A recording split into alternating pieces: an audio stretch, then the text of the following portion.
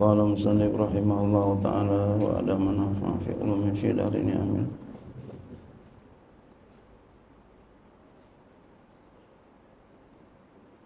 وبعد فاعلم بوجوب المعرفة من واجب لله isri nasibah Wabakdu dan setelah itu Fa'lam maka ketahui olehmu Biujubil ma'rifah dengan wajib ma'rifah Wajib mengetahui Min wajibin daripada yang wajib lillahi bagi Allah Isrina sifat.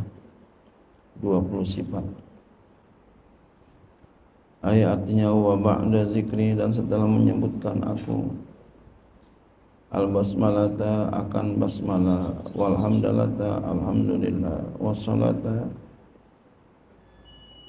dan salawat wassalam dan salam fa aku laka maka aku katakan kepada engkau i'lam ketahui olehmu.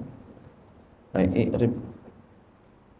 Ketahuilah wa tayaqqan yakinilah ayyuhal mukallaf wahai mukallaf isri nasifatan akan 20 sifat wajibatan yang wajib lillahi ta'ala bagi Allah ta'ala. Ala tafsini atas terperinci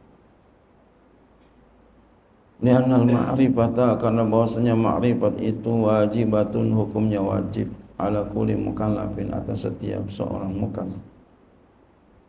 Wazar ketahui hati-hatilah. Ani taklidi daripada taklid fayakunu imanuka mukhtalafan fihi maka adalah iman engkau itu kalau taklid menjadi mukhtalafan fi diperselisihkan sah apakah ke iman kita kalau kita taklid? Faqauluhu maka perkataannya i'lam bermakna i'rib maknanya i'rib ka ta'ala seperti firman Allah Ta'ala la ta'lamuna umullahu ya'lamuhum. Kamu tidak mengetahui mereka. Allah lah yang mengetahui mereka. Ay la ta'rifuna umullah la ta'rifuna um Allahu ya'rifuhum. Kamu tidak mengetahui mereka, Allah lah yang tahu akan mereka. Walidzalika maka oleh karena itu, oleh karena i'lam maknanya i'rib atsba'ahu nazimu qaulahu bi ujubil ma'rifati. Nazim ya mengikuti akan dia akan kata-kata iklam kaulahu akan perkataannya ya dengan perkataannya bi ujubil ma'rifah wa hina izin dan ketika itu faya ta'adda jadi ketika itu ketika iklam maknanya i'rif maka bermutaaddi ia kepada ila maf'ulin wahidin kepada satu maf'ul karena asalnya iklam alima itu maf'ulnya dua hmm. Tapi karena maknanya irib jadi maf'ulnya satu. Qala al-Fayyumi berkata al-Fayyumi fil misbah dalam kitab al-Misbah wa idza kana alima dan apabila adalah alima bi makna yakin dengan makna yakin ta'adda ila ini maka dia mutaaddi kepada dua dua maf'ul. Jadi kalau alima maknanya yakin itu dia dua maf'ul. Alima maknanya ya arafa dan satu maf'ul wa idza kana bi makna arafa ta'adda ila maf'ulin wahidin intaha dan apabila adalah ia dengan makna arafa maka dia mutaaddi kepada satu maf'ul intaha wa innama dan hanya saja abbarul nazimu nazim mengungkapkan meredaksikan mengibaratkan bi i'lam dengan i'lam tanbihan karena untuk memperingati lisami bagi orang yang dengar. Ala ma yulqa ilaihi minal qawli atas bahwa apa yang dilemparkan kepadanya yang lemparkan yang disampaikan ya kalau omongan sampaikan ya kalau benda batu lempar yang disampaikan minal qaul daripada perkataan ya apa yang disampaikan berupa perkataan ya lazamu maka wajib hibzuhu oleh menjaganya. Jadi kalau kita ngomong tuh biar dijaga ngomongannya. Jangan ngomong apalagi jadi penceramah, binatang dibawa-bawa. Ya, hewan-hewan di kebun binatang dibawa-bawa, jangan. Apalagi bawa-bawa binatang najis. Jangan nah. ya orang awam ngomong begitu jelek orang alim apalagi penceramah apalagi idola itu sangatlah jelek tidak bermoral. Sekalipun keturunan mulia tidak bermoral. Jadi jangan sampai begitu. Jaga omongan kita. Kenapa? Nih innama abral musan anazimu. Innama abral nazimu. Karena mengungkapkan oleh nazim. Bi'ilam dengan makna i'lam. Dengan kata-kata i'lam. Ya. Dengan kata-kata i'lam. Tanbian. Karena untuk memperingati lisami bagi orang yang dengar. Ala anna ma yulqa ilai. Atas apa yang disampaikan kepadanya. Minal qaul. Daripada berupa ucapan. Jadi setiap sesuatu yang disampaikan berupa ucapan yalzamu hibzuhu wajib menjaga tu ucapannya dari yang kotor-kotor, dari yang jelek-jelek, dari yang buruk-buruk. Kenapa? Li'annahu aslu kulli khairin karena bahwasannya dia itu ucapan itu adalah asal setiap kebaikan. Banyak dari sebab ucapan kita orang jadi demen nama kita banyak dari sebab ucapan kita orang dari jauh daripada kita. Maka oleh karenanya dijaga siapa pun orangnya dalam berkata. Apalagi sampai keluar daripada kata-kata binatang di bawah-bawah. Apalagi binatang yang najis. Apalagi najisnya mugolazo apalagi ditujukan kepada seseorang Nauzubillah, summa nauzubillah min Itu buruknya udah jelek, buruknya udah jelek. Buruknya udah banget itu. Jeleknya banget. Jadi jangan sampai kita kayak begitu. Jaga omongan kita.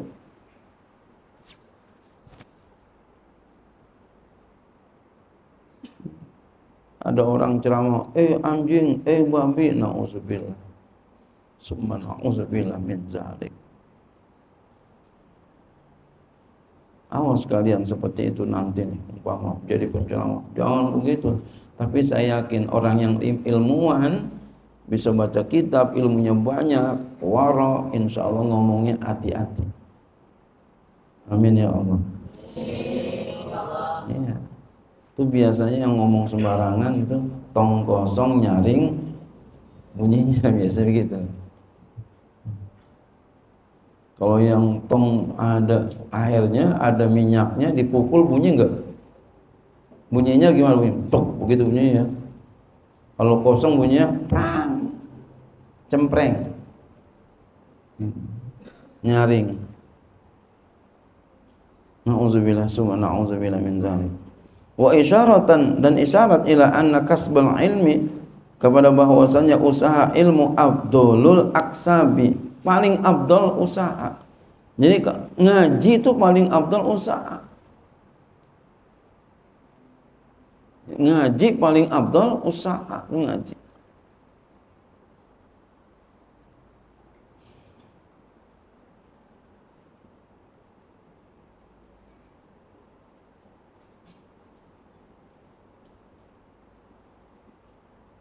Jadi ngaji paling abdul usaha. Lu ngapain? Nggak apa-ngapain. Ngaji? Ya ngaji doang. Eh, itu ngaji termasuk usaha. Paling abdul usaha. Jadi jangan sampai enggak ngaji.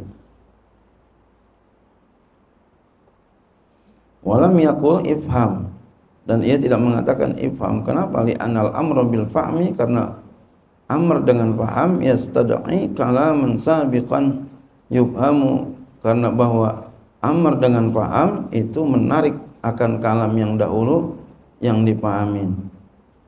Walam yujad una dan tidak didapati di sini ya. Walam yakul dan ia tidak mengatakan idri. Kenapa li anal amra bi dirayati karena bahwasanya amar dengan dirayah tadi melazimkan tahsilal ilmi ala taati menghasilkan ilmu atas pelan-pelan taati ya perlahan-lahan Lianna dirayata karena diraya hiyal ilmul hasil. Dia adalah ilmu yang hasil ba'da tafakuri setelah berfikir. Walam yakul ikra, ia tidak mengatakan ikra. Kenapa? Li'annal amra bil qiraati yaqtadi tahsil al-alfazi. Karena bahwa amr dengan qiraat itu melazimkan menghasilkan lafaz-lafaz. Walam yakul ihfaz dan ia tidak mengatakan ihfaz. Kenapa? Li'annal hifza karena lafaz hifaz. Saunu syai'i anid diya'i walau walawil walawil al-fawz faqat. Karena bahwa hifaz itu menjaga sesuatu dari sia-sia sekalipun lapas-lapas saja. Walam yakul isma dan ia tidak mengatakan isma. Kenapa? Li annal amra bis sam'i yaqtadi tahsilal lafzi faqat. Karena bahwa amr dengan sama itu melazimkan menghasilkan lapas saja. Wal maksudu huna dan maksud di sini adalah tahsil ma'ani ala wajil jasmi bisur'atin. Menghasilkan makna-makna atas jalan memastikan dengan cepat. Karena akidah.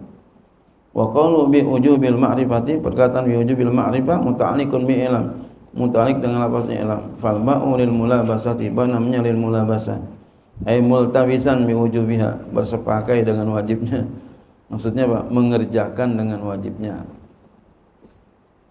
Dulu saya ngaji mau guru begitu bersepakai. Orang kalau sepakai berarti apa? Sedang ngerjain gitu ya. Mengerjakan dengan wajibnya. Wa dan perkataannya min wajibin Ya oleh istrina itu bayan bagi lapas istrina. Bi uju ya. Wa dan perkataan istrina maf'ulun bihi li i'lam. Itu maf'ul bihi bagi lapas i'lam. Wa dan perkataan sifah tamyizun mufass mufassirun lima waqa'a alaihi isruna wa huwa mansubun bi isrina. Sifat itu tamyiz yang menafsirkan bagi apa yang terjadi bagi apa yang jatuh atasnya isruna itu dinasbahkan dengan isrina kama qalahu Syarbini sebagaimana mengatakan oleh Syarbini yakni yang ia kehendaki anahu bahwasanya wajib wajib ala kulli mukallafin bisyar'i atas setiap mukallaf dengan secara syariat berdasarkan syariat ayya'rifa wajib ia mengetahui isrina sifatan mufassalatan 20 sifat secara terperinci. Ma'atiqadi anna lillahi ta'ala wajibatin wa kamalatin la tatanaha. Serta meyakini bahwa bagi Allah Ta'ala mempunyai wajib-wajib yang banyak kesempurnaan yang banyak yang tiada hingganya Wa hakikatul ma'rifat yang hakikat ma'rifat dia, dia adalah al-jazmul muwafiq lil aqi an dalilin. Kepastian yang sesuai kepada kebenaran. Ya, daripada dalil. Wa amma taqlidu ya, jadi pakai dalil gitu ya. Adapun taklid bahwa maka dia, dia itu adalah i'tiqadu matmuni qaulil ghairi wa fi'lihi wa taqririhi min ghairi ma'rifati dalilin.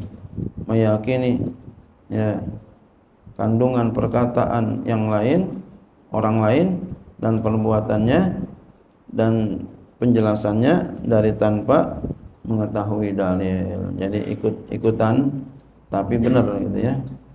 Tanpa dalil. Itu namanya taklid. Wa kharaja bizalika at-talamizatu. Keluar dengan demikian itu oleh para murid-murid. Nah, kita nih ngaji kayak begini nih. Ini ya ba'da ayyursyida umul asyakhu lil adilati setelah diberi petunjuk oleh guru-gurunya bagi dalil-dalil maka kalau murid-murid namanya fahum arifuna la muqalladuna la muqalliduna ya maka mereka tuh kalau murid nih kamu nih namanya enggak kamu udah ngaji nih udah tahu namanya dalil-dalil dikasih tahu sama guru. Namanya kamu namanya apa? Arifuna orang arif. Dalam ilmu tauhid. Ya bukan arif billah ya ilmu bukan orang sufi. Arif dalam ilmu tauhid la muqalliduna bukan orang yang muqallid. Alhamdulillahirabbil alamin bersyukur kita ditakdirkan oleh Allah bisa ngaji bisa pasantren wallahu a'lam